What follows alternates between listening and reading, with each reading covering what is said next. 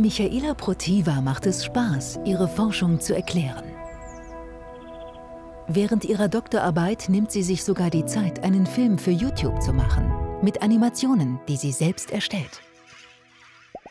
Ich bin ein kreativer Mensch. Mir macht es total Spaß, auch so für Publikationen Abbildungen zu machen oder Vorträge zu gestalten. Und, ähm, und ich arbeite gern mit dem Grafikprogramm und lerne mich da auch gern ein. Und das war halt, ähm, das finde ich schön, dass das eben auch noch ein Aspekt ist von der Wissenschaft, dass man eben dieses ähm, Kreative benutzen kann, dass es praktisch ein Weg ist, um sich kreativ auszutoben, obwohl man in der Wissenschaft tätig ist. Michaela Protiva forscht an Alternativen zu Antibiotika um lebensbedrohliche Infektionen durch Bakterien zu bekämpfen. Ihr Gegner ist einer der weltweit gefährlichsten Keime, Pseudomonas aeruginosa. Er verursacht Blutvergiftungen oder schwere Lungenentzündungen. Dafür geht er besonders heimtückisch vor.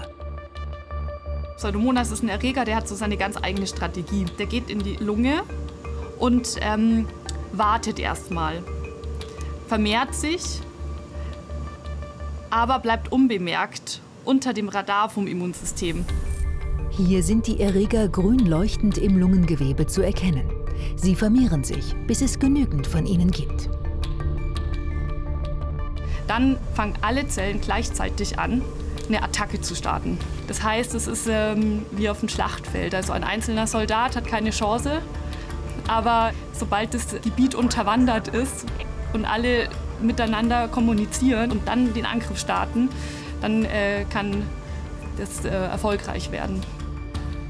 Michaela Protiva und ihre Kollegen von der Uni Konstanz wissen, die Bakterien kommunizieren über einen chemischen Signalstoff, den sie ausschütten.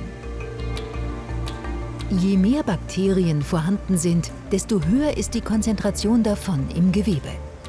Erreicht sie einen Schwellwert, gibt das den Bakterien das Signal für den Angriff auf den Körper. Genau hier wollen die Forscher ansetzen. Das Ziel ist, mit einem neuen Wirkstoff die Kommunikation der Bakterien zu unterbinden und ähm, somit dem Immunsystem Zeit zu geben, diese Bakterien zu beseitigen. Michaela Protiva nimmt ein wichtiges Protein des Erregers in den Fokus. Es ist entscheidend für die Herstellung der Signalmoleküle. Sie lässt es von harmlosen Laborbakterien produzieren. So kann sie einfach und gefahrlos testen, welche Wirkstoffe dieses Protein blockieren könnte. Soweit die Theorie. Es ist nicht diese schöne Idealvorstellung, was viele von Forschung haben, dass man da im Labor steht und alles funktioniert, ne? sondern es ist wirklich so, das meiste oder vieles funktioniert nicht. Und man darf dann nicht frustriert sein, man macht dann weiter. Nach unzähligen Tagen und Wochenenden im Labor kann sie gleich mehrere Kommunikationshemmer identifizieren. Michaela Protiva wünscht sich, dass daraus vielleicht schon bald ein neues Medikament entsteht, das Leben rettet. Das ist mir immer wichtig. Also ich mag nicht irgendwas, was rein mit Bakterien zu tun hat und gar keinen Bezug zum Menschen hat, sondern immer gern so den Bezug zur Gesundheit und ähm, zum klinischen Alltag haben.